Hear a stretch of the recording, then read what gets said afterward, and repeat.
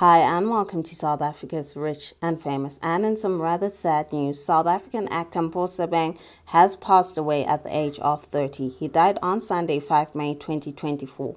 According to reports, he was involved in a car accident in Klerksdorp.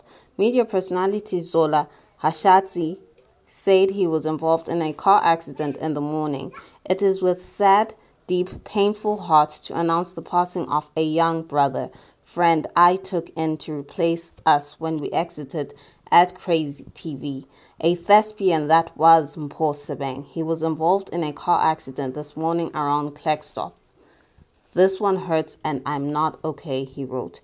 Zola also wrote that Mpho's star was only beginning to shine and he would share more information as time goes by. May his soul rest in peace. For more stories like these, kindly do keep subscribing to our YouTube channel at South Africa's Rich and Famous.